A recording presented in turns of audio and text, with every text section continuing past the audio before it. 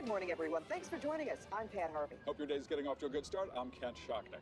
We begin with a tragedy last night in the foothills of Santa Susana Pass, where a private plane crashed with no survivors. CBS 2 has obtained this exclusive video, and we want to remind you now that what you're about to see is graphic, and viewer discretion is advised.